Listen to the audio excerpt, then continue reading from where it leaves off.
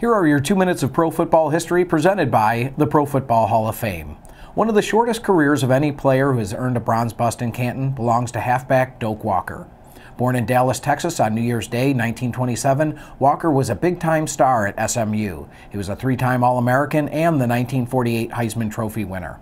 Despite that success, many pro scouts passed on Walker, claiming he was too small for pro ball. That was not a deterrent to the Detroit Lions, who obtained his rights and signed him to a contract in 1950. So Walker went to Motown, where he joined his lifelong friend and fellow future Hall of Famer, Bobby Layne. Walker erased all doubt during his rookie season in 1950 when he led the NFL in scoring with 128 points via five rushing TDs, six touchdown catches, eight field goals, and 38 extra points. He continued to contribute over six seasons with Detroit as he helped lead the Lions to two NFL titles during that span. He scored the game winning 67 yard TD run versus the Browns in the 52 championship.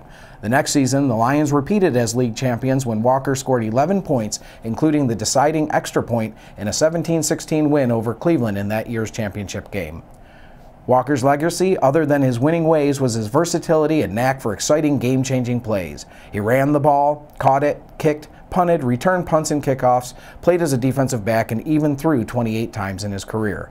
Doak, who passed away after a skiing accident in 1998, had shunned a lucrative contract from the Lions and hung up his cleats after the 55 season so he could pursue other business interests. While 67 games and six seasons didn't permit Walker to amass huge numbers, his contribution to the game cannot be forgotten. It wasn't when in 1986 he was elected to the Pro Football Hall of Fame 30 years after he walked away from the game in his prime. And there are your two minutes of pro football history presented by the Pro Football Hall of Fame.